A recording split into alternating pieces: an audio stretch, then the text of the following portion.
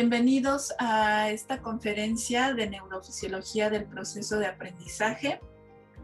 En primer lugar, quisiera agradecer por esta invitación al Consejo Subcaliforniano de Ciencia y Tecnología, el COSIT, por brindarnos esta oportunidad de compartir con ustedes un, un trabajo de divulgación científica. Eh, me presento, soy la maestra Nacheli Urbieta. Eh, soy instructora en música con especialidad en violín por parte de la Facultad de Bellas Artes de la Universidad Autónoma Benito Juárez. Eh, soy licenciada en psicología de la Universidad del Valle de México y también estudié una maestría en neurociencias en el Instituto Nacional de Neurociencias y Salud Mental, perteneciente a la SEP y al CONACIT. Bueno, yo soy originaria de la ciudad de Oaxaca, crecí en un seno familiar de músicos de orquesta y esta misma pasión y amor por la música me ha encaminado en el mundo de las neurociencias, pensando en que eh, se puede realizar algo más de del disfrute de la música y llevarlo a un estado de sanación, por lo que he tenido algunas colaboraciones en hospitales como el Centro Médico Nacional 20 de Noviembre del ISTE y he trabajado en el área de neurología, el, área de psiquiatría, de oncología y rehabilitación. Em, estos eh, proyectos también este, pues son de alguna forma novedosa para eh, las neurociencias en un plan de trabajo multidisciplinario y bueno, también he aportado un poco en, el área de investigación encabezado por el doctor Fiacro Jiménez, eh, que ahora es jefe nacional de enseñanza e investigación del ISTE. Eh, también pertenezco a la Orquesta Sinfónica de Oaxaca, eh, soy eh, catedrática de la Facultad de Bellas Artes y también eh, doy cátedra en, la, en el programa de la SEP de una nueva orquesta mexicana o escuela mexicana. por lo que también he encaminado a mi trabajo a la educación y las neurociencias. He invertido también la parte de divulgación en diferentes foros, por ejemplo, en el Palacio de la Escuela de Medicina de la UNAM, el Museo del Estanquillo, el Museo Nacional, el MUNAL, em, en la Fiesta de las Ciencias y Humanidades organizado por la UNAM, que lo hacen cada año. Y bueno, eh, actualmente hace poco tenía otro proyecto de la música y el cerebro. Eh, encaminados a primarias y escuelas de música. Y bueno, este, actualmente estoy en proyectos de, em, debido a la pandemia, algunos este, eh, trabajos con ansiedad y depresión. En principio vamos a hablar eh, de generalidades del cerebro o del sistema nervioso hablaremos un poco de la plasticidad neuronal, el aprendizaje como tal, un poco de generalidades, las funciones cognitivas que se involucran en el aprendizaje, nuestro sistema límbico y cómo se involucra en el aprendizaje y bueno, este, alguna dinámica por ahí. Nuestro sistema nervioso eh, se divide principalmente en dos ramos, el sistema nervioso central que es el encéfalo y la médula espinal. El encéfalo, llamado también así el cerebro como tal. Y vemos que de nuestro encéfalo eh, vienen eh, los nervios craneales, que ahí es donde viene eh, la división del sistema nervioso periférico. Y en los nervios craneales tenemos diferentes neuronas, que son las sensitivas y las neuronas motoras que es una aferente, las sensitivas, que son de estímulos exteriores, y las neuronas motoras, que es la respuesta como tal a tales estímulos, o la conducta como tal. La médula espinal también vemos que se, eh, tiene diferentes ramificaciones, que son los nervios raquídeos, que igual se dividen en neuronas sensitivas y neuronas motoras. Aquí tenemos una pequeña imagen acerca de nuestro sistema nervioso central. Vemos el cerebro como tal y este, la médula espinal. ¿Y qué podemos decir de nuestro cerebro si eh, este, em, podemos decir, órgano, debemos conocerlo si nosotros trabajamos en el área de educación? Hay que saber cómo funciona para que nosotros podamos entender como educadores em, las diferentes respuestas o conductas que tienen nuestros educandos. Aquí nos habla de un peso promedio del cerebro que es de 1.350 gramos a 1.500 gramos, llegando a su máximo entre los 25 y los 35 años. Em, a partir de los 90 años se dice que el cerebro pierde un 10% de su peso. En esta gráfica podemos observar cómo es que eh, el cerebro al principio, desde nuestro eh, nacimiento hasta el año y medio aproximadamente, tiene un crecimiento rápido. Si vemos aquí, ya casi llega al kilo eh, aproximadamente y a partir de los año y medio, dos, ya este, su crecimiento es mucho más lento y se mantiene en esa velocidad de crecimiento.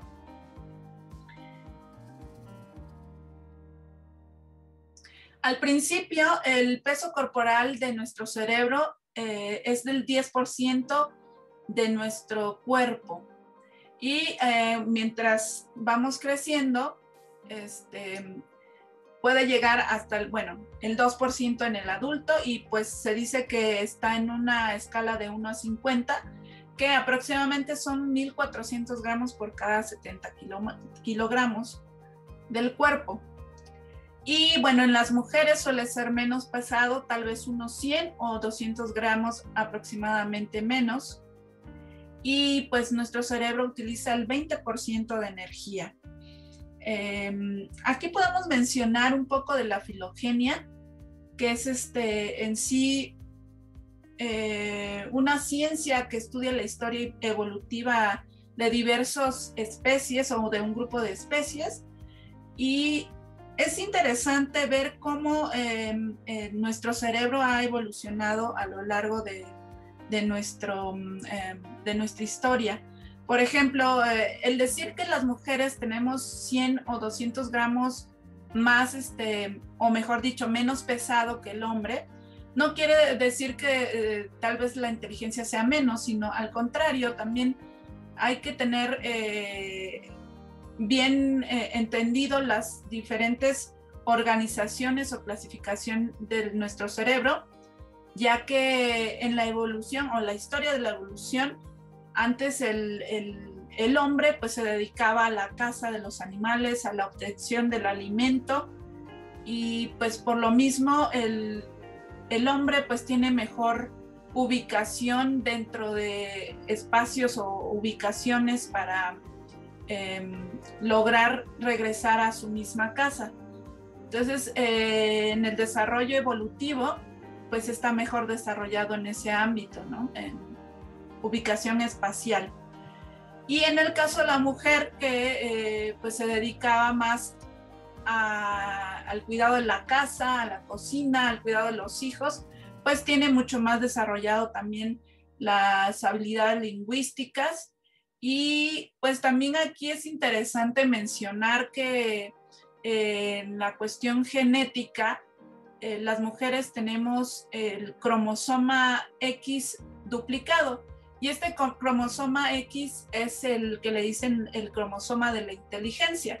Entonces también no, entre hombre y mujer no debería haber eh, tal vez decir que la mujer es menos inteligente o el hombre es menos inteligente, sino decir que pues tenemos diferentes habilidades desarrolladas, según como habíamos dicho en la historia de la evolución, pero tenemos eh, las mismas aptitudes para lograr eh, diferentes metas.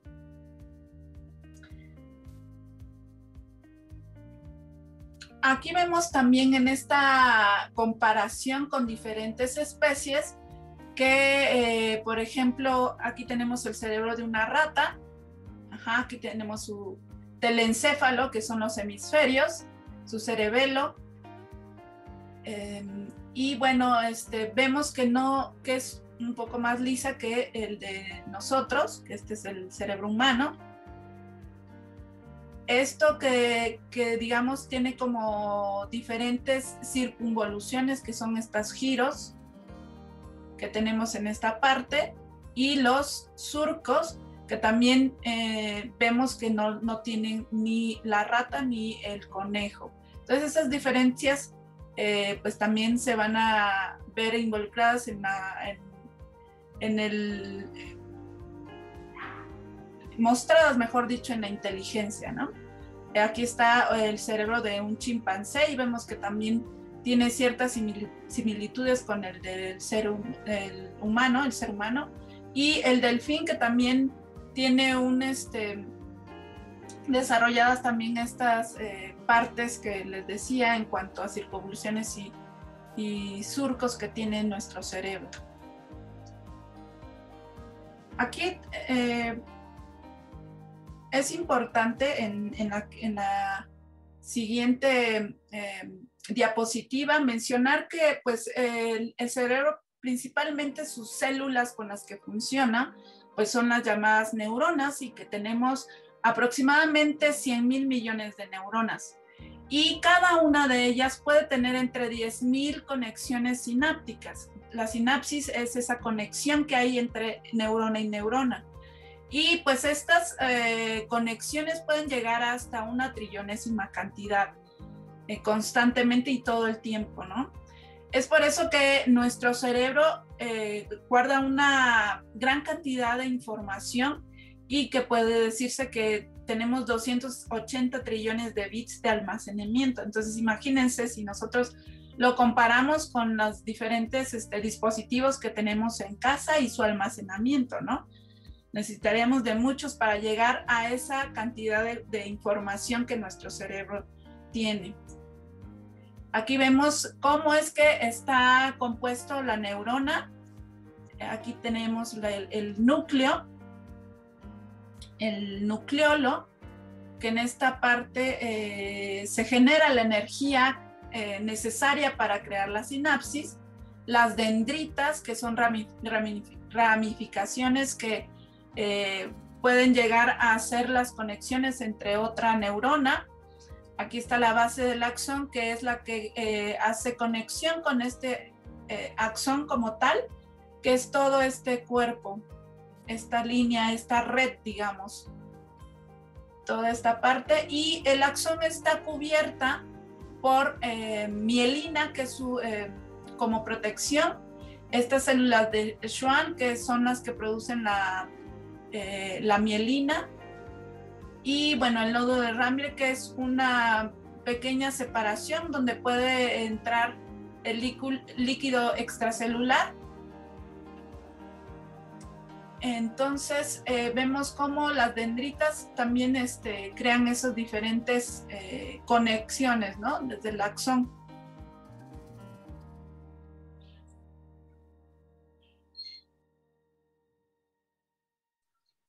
Ahora también es necesario hablar de la neuroplasticidad o la plasticidad cerebral.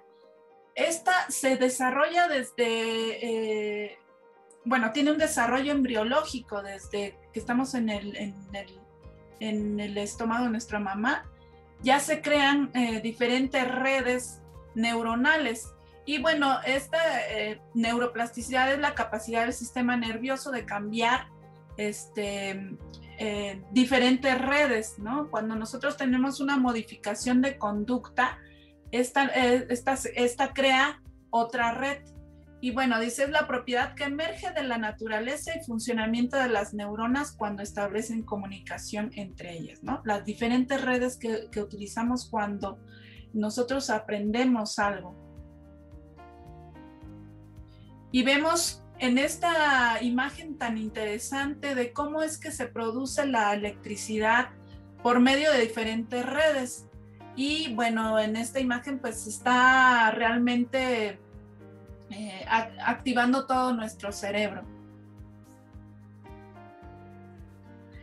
Y aquí una pequeña eh, imagen de las diferentes redes eh, logradas en, en diferentes colores.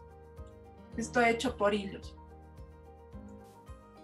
Y finalmente vamos a ver el telencéfalo humano, que aquí vemos que está recubierto de una, eh, una meninge que se llama aracnoide, que recubre al cerebro como protección también, aparte del líquido cefalorraquídeo que protege al cerebro también. Y bueno, esta es una vista posterior, este es el hemisferio izquierdo y el hemisferio derecho. Y bueno, no pensando en una cuestión de localización, o sea, no, no pensar que en tal parte solamente se da esa actividad, sino como antes ya lo habíamos mencionado, son redes diferentes que van a involucrarse en, cada una de las conductas. Eh, bueno, se decía antes que eh, eh, el hemisferio izquierdo estaba eh, más especializado en las cuestiones lógicas, se basa, basan principalmente en lo real, en lo lógico, en lo matemático, en lo científico, tiene las cuestiones del lenguaje y bueno, en, en el hemisferio derecho tiene que ver con la imaginación, la creatividad, la música, todo lo que tiene que ver con arte y lo emocional. Aquí también una estructura muy interesante, el cuerpo calloso, que es esta parte que está entre hemisferio y hemisferio y su principal función es la de interconectar las dos, los dos hemisferios. Y bueno, hay un dato interesante que eh, he logrado ahí este, investigar que hay estudios en los cuales dicen que los eh, músicos desarrollamos un poquito más este, este, esta estructura porque tenemos constantemente y comunicación entre hemisferio y hemisferio, derecho y izquierdo. En esta parte tenemos el cerebelo, que tiene que ver con cuestiones de equilibrio, tono muscular, en conjunción eh, con nuestro, nuestro lóbulo frontal. También tiene cuestiones emocionales, de secuenciación. Bueno, pensando en todo esto en redes, como ya lo había dicho. Otra forma de dividir y de entender todo nuestro cerebro es que principalmente se divide en cuatro lóbulos, que es el parietal, esta parte, nos tocamos eh, esta parte de nuestra cabeza que es el parietal, eh, y que principalmente su actividad eh, es mucho más con la sensibilidad en general. por ejemplo, hablamos de los quimioreceptores, los termoceptores que tienen que ver con el calor, este, el frío, eh, toda la parte de la información de la piel táctil, eh, la presión. Em, por ejemplo, nosotros sabemos eh, qué cantidad de fuerza cuando escribimos presionar sobre la hoja. Esa información viene desde em, bueno, del estímulo exterior va la información hacia esta parte del óvulo parietal. Y bueno, hablamos de la topognosia, que vamos a hablar un poco de esta em, característica que tiene nuestro lóbulo parietal y la somatognosia, que es la eh, capacidad de localizar eh, cada uno de los segmentos del cuerpo humano. Entonces, ahorita eh, vamos a cerrar los ojos y vamos a tocar nuestra nariz. Si lograron hacerlo, es que eh, está dando correctamente la señal este lóbulo parietal. No necesitamos ver como tal nuestra mano, nuestro oído, nuestra nariz, para que nosotros sepamos dónde están localizadas las diferentes partes de nuestro cuerpo. Eso es parte de la somatognosia y la topognosia. Y otro ejercicio ahí, si tienen una em, eh, libreta y un este, eh, lápiz al lado, eh, cerramos los ojos y tocamos cada una de estas dos y nuestro cuerpo va a saber exactamente cuál es cuál, ¿no? Entonces, esta es una de las características que también viene de la información del parietal. Ya sabemos las características de una pluma. Cuando tomamos una pluma, el cuerpo sabe, ah, es una pluma por sus diferentes características eh, morfológicas. Y bueno, eh, la parte del lóbulo occipital que tiene que, eh, que está encargado principalmente de la visión y cuestiones visoespaciales, ¿no? Por ejemplo, cuando nosotros caminamos o subimos escaleras, hay una coordinación entre el espacio que tenemos que avanzar y nuestra vista, ¿no? Eh, aquí también una, una, cuando nosotros tenemos eh, alguna lesión puede darnos eh, en, esta, en, esta, en esta ubicación de nuestro cerebro puede darnos la prosopagnosia, que es la incapacidad para integrar el rostro de una persona y pues por lo cual no identificarla. Bueno, de ahí el lóbulo temporal, que es esta, que principalmente eh, se encarga de los estímulos auditivos, eh, las emociones y bueno, ahí hay cuestiones de, memoria reciente, llega la información del olfato más directamente y este, finalmente uno de los más importantes y por las cuales nos hace ser humanos tal vez porque tenemos más desarrollado este lóbulo eh, que eh, otros animales, la cual nos da esa capacidad de raciocinio, pensamiento y em, pues eh, aquí vemos el lóbulo frontal. También se encarga de toda la cuestión motora, de una respuesta para una conducta, el estado de ánimo, la personalidad, eh, aquí también eh, la intención, la atención, por medio de esta mantenemos una atención si tiene un valor motivacional, el juicio, la autocrítica, la autorregulación. En fin, este eh, lóbulo frontal también es llamado como el director de orquesta porque va a controlar en sí las diferentes em, conductas que vamos a tener hacia el exterior. Entonces es el, em, el director de orquesta, le dicen a este lóbulo frontal. Y bueno, ya finalmente, eh, después de dar un pequeño resumen acerca de cómo se divide nuestro cerebro, vamos a hablar un poco este, del proceso de aprendizaje. Y bueno, aquí decimos que se puede definir como un cambio relativamente duradero en los mecanismos neurales de la conducta que resulta de la experiencia con eventos ambientales específicamente relacionados con dicha conducta. O sea, ante, eh, ante tal estímulo yo puedo eh, dar como respuesta tal conducta según aprendizajes previos. Sin embargo, esto se puede, como ya habíamos dicho, modificar. Em, y crear otra nueva red. también este aprendizaje nos ha dado en la historia de la evolución una capacidad de adaptación. Por ejemplo, cuando eh, nuestros em, antepasados pues cambiaban de, vivienda constantemente y pues finalmente aprendieron a, domesticar, a hacer la, la actividad de agricultura pues fueron, fueron diferentes, eh, eh, ya como tal, eh, tener una, una, vivienda o un lugar establecido. Y bueno, pues sí, las diferentes adaptaciones ante las modificaciones ambientales para poder sobrevivir.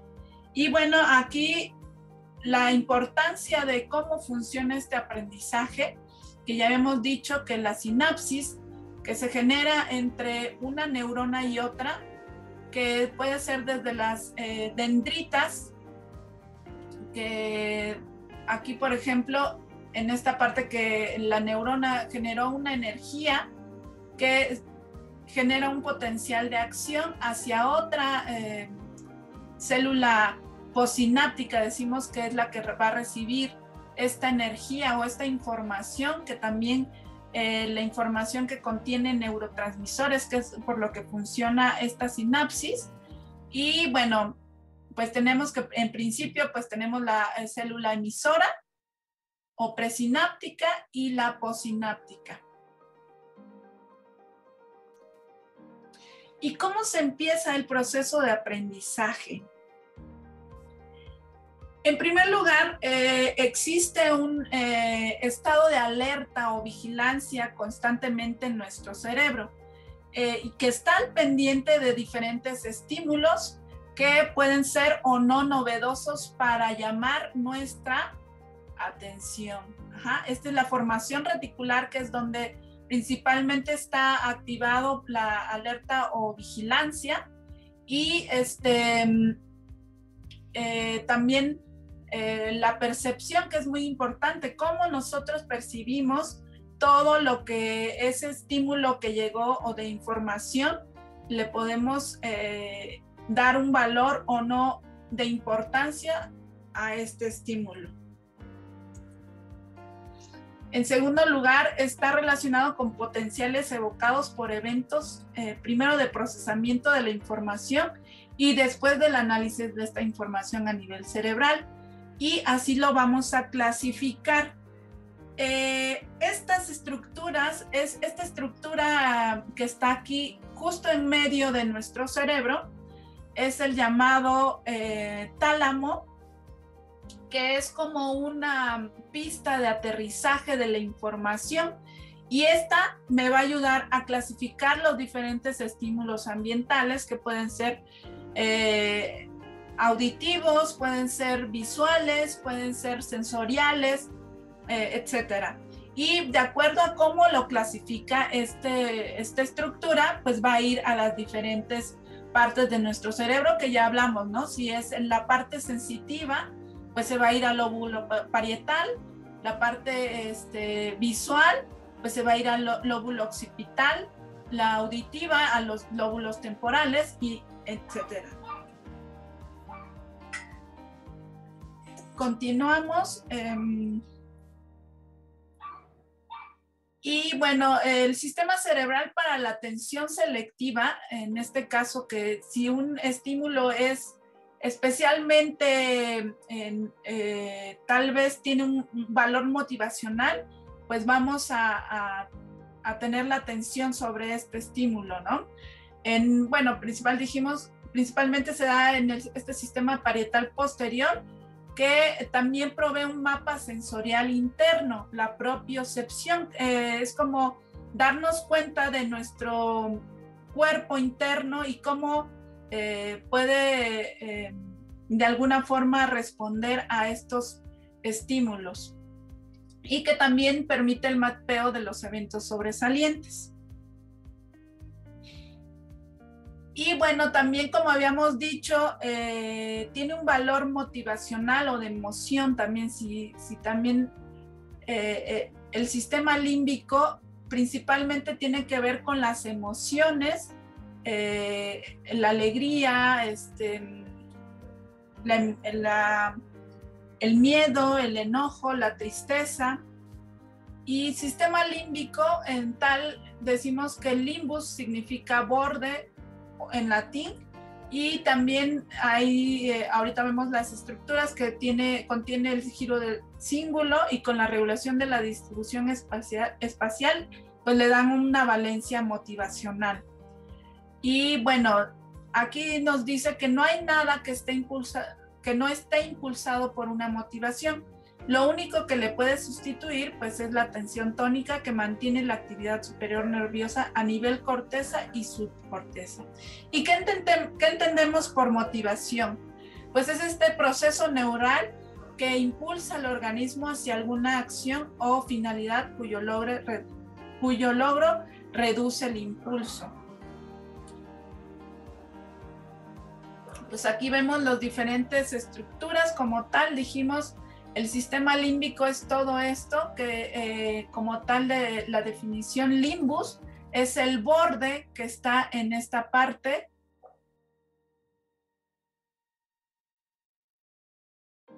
Y bueno, aquí tenemos las estructuras del cuerpo calloso, la corteza prefrontal, que tiene que ver con habilidades motoras. Aquí tenemos la parte del lóbulo temporal, pero está justo en medio. Y este y bueno, el parahipocampo, que también está en el borde de esta, bueno, como tal dice el sistema límbico.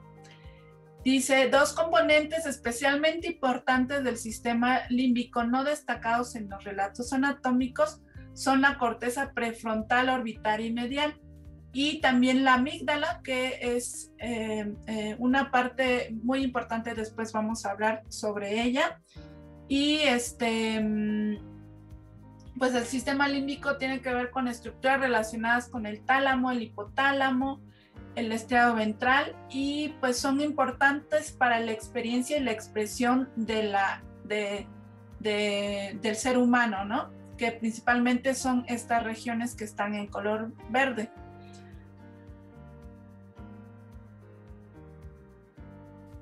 Bueno, ahora vamos a hablar de esta estructura muy importante que es la amígdala y su implicación en el aprendizaje.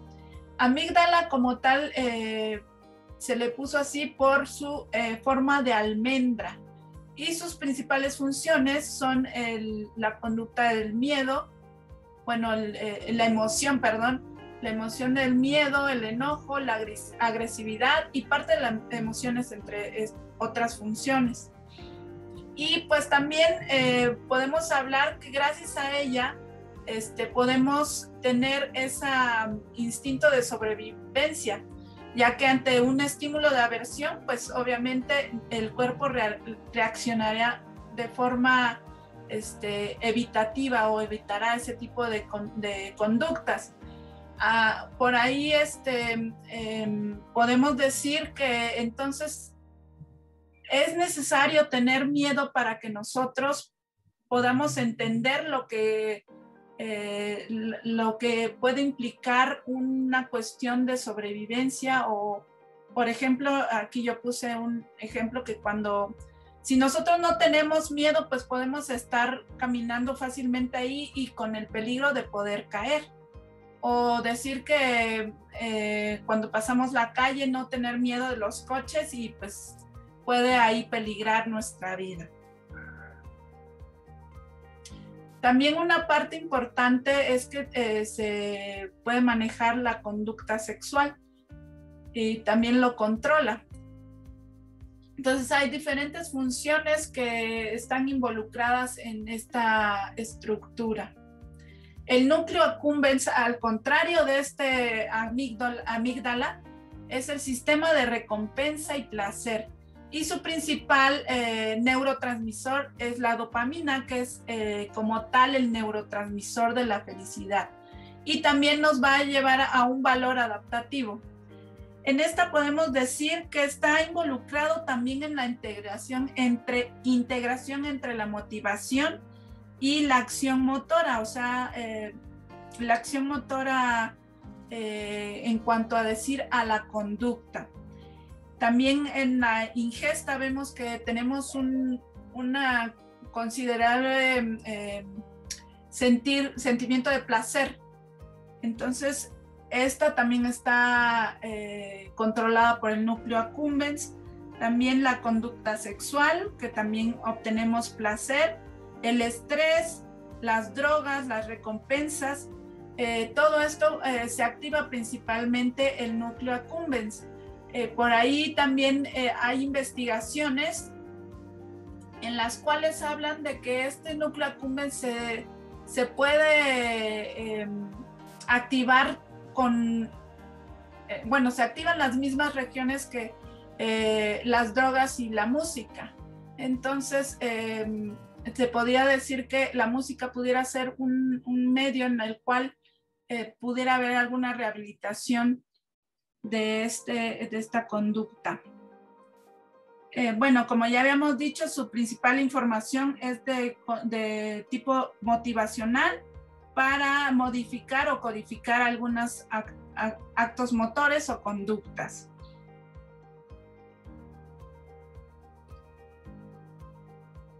Y bueno, una, una función cognitiva que no puede separarse del aprendizaje es la memoria y puede definirse como el proceso mediante el cual se retienen los conocimientos y se pueden recordar un tiempo después. Vemos que aquí la información, que puede ser un estímulo exterior, se va a una memoria perceptual que dura aproximadamente entre 6 a 10 segundos. Eh, toda la parte que percibimos por medio de nuestros sentidos en, en, un, en, un, este, en una velocidad pues muy rápido, ¿no? Y bueno, dice que al no haberse integrado en unidades con sentido, este, al, al conectado con estructuras de información guardadas previamente es olvidadas. O sea que ante, eh, bueno, en, nuestros, en nuestras memorias debemos eh, hacer una recopilación o de experiencias previas y a veces vincularlos con esas experiencias previas para que lo podamos nosotros este, retener. Si no, pues esta se va a desechar. Igual que la memoria a corto plazo, este, podemos hablar que aproximadamente lo retenemos de una a dos horas y pues esta sí tiene cierto límite que aproximadamente son es de recordar siete elementos independientes y requiere que constantemente se dé esta repetición para poder acceder, acceder a la información que anteriormente se hizo con esta memoria a corto plazo. Y bueno, tal como eh, las diferentes memorias que tenemos, está la memoria a largo plazo que también lo podemos decir de consolidación, cuando realmente ya existe un aprendizaje que eh, vamos a tener pues por toda la vida, ¿no? Que eh, aquí nos habla que es de manera permanente y pues también que no tiene una, un límite de información. Puede ser infinitas unidades organizadas y conectadas entre sí. ¿Qué podemos decir de la memoria a largo plazo? Que también se puede subdividir en diferentes este, eh, tipos de memoria, por ejemplo, la memoria explícita que, eh, o declarativa, que sí lo podemos hacer de manera consciente y recordar como hechos específicos en algún tiempo determinado eh, sobre nuestra persona, sobre quiénes somos, este, y bueno, eh, esto principalmente, como vimos, eh, se puede manejar o se activa principalmente en nuestro cerebro, en nuestro tálamo y como tal, la estructura básica o principal para la memoria es el hipocampo, que también estaba dentro del circuito eh, que estaba alrededor del sistema límbico y este, también se activa el lóbulo temporal. Y también eh, podemos hablar de una, de una memoria implícita que no es no declarativa y que es más inconsciente, no nos damos cuenta de que está ahí. Por ejemplo, la memoria procedimental, que es cuando nosotros aprendemos a manejar que no estamos como constantemente recordando cada uno de los pasos, sino que ya inconscientemente hacemos las diferentes em, eh, pasos para lograr manejar. Aquí vemos la estructura del hipocampo, vistas en, en los dos hemisferios. Es la base entonces principal de la memoria entonces es importantísimo para nuestro aprendizaje.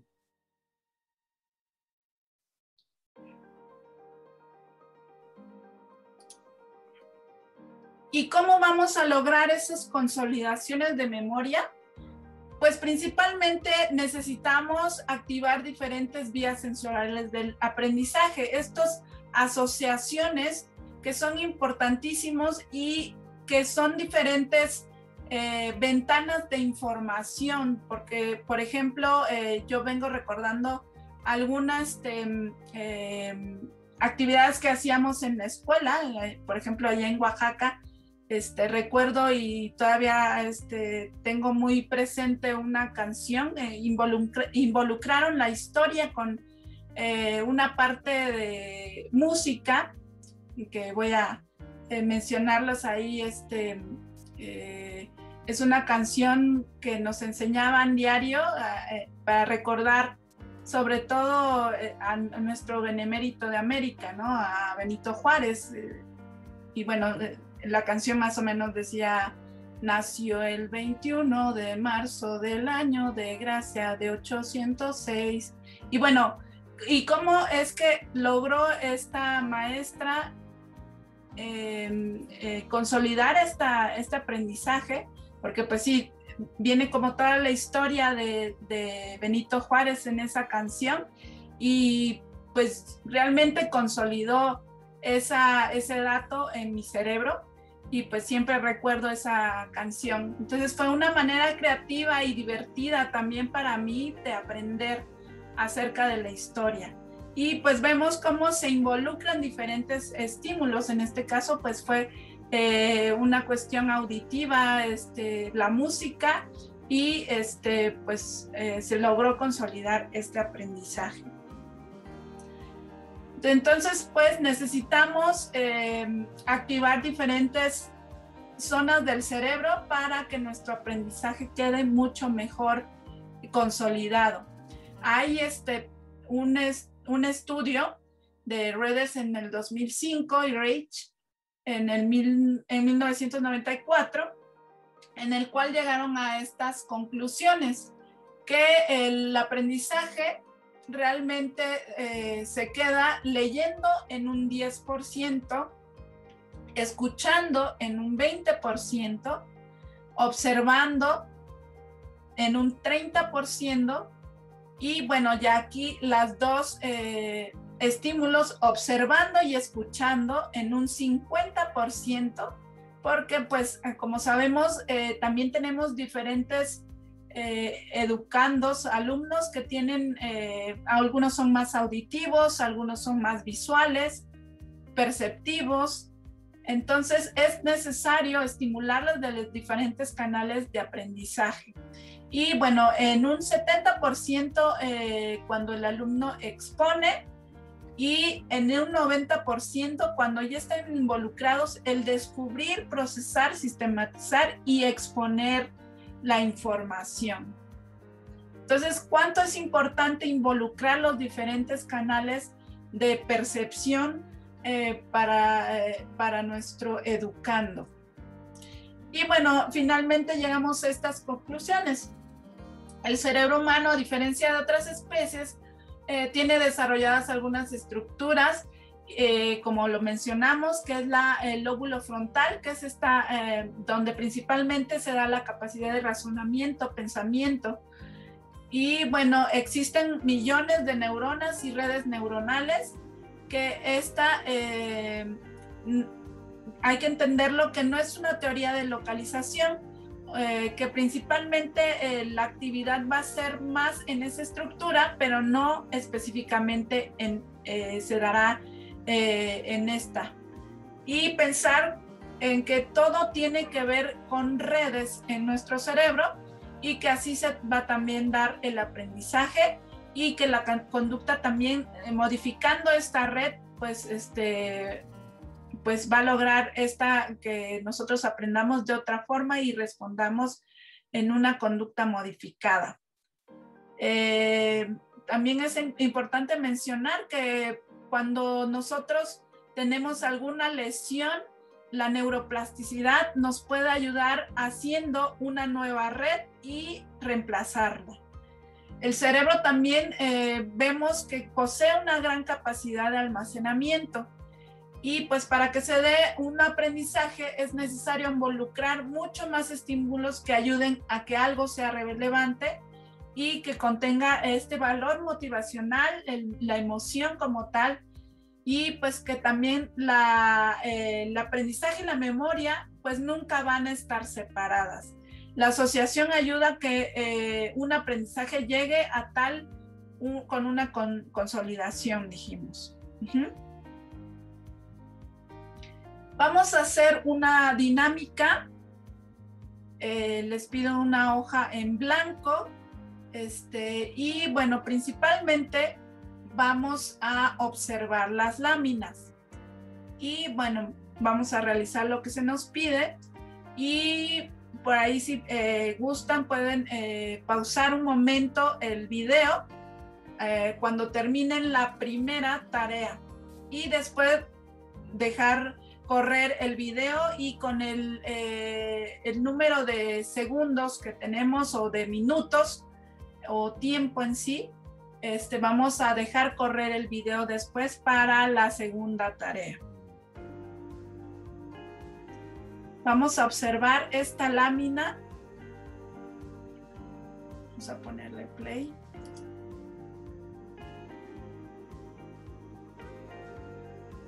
En el momento en que se quite la lámina, empezamos a hacer lo que se nos indique.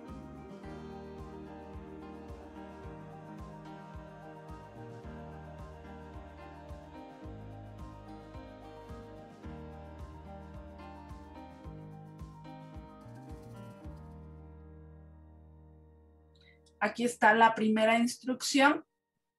Recuerden que pueden pausarlo hasta terminar y continuar el, video.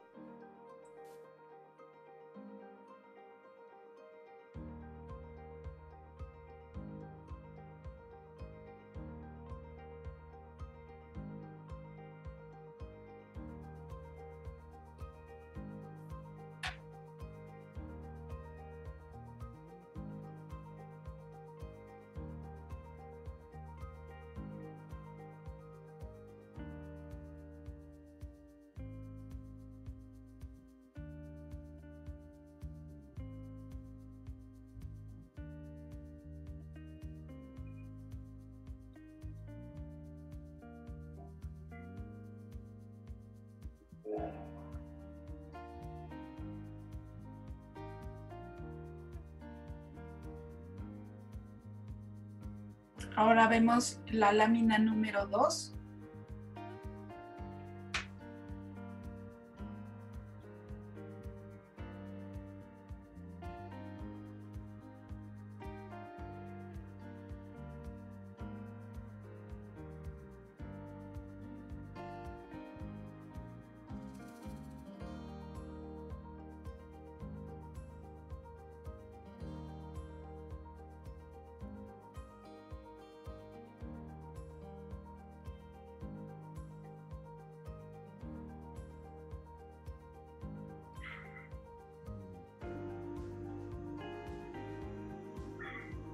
Ahora realizamos la, la tarea que se nos pide.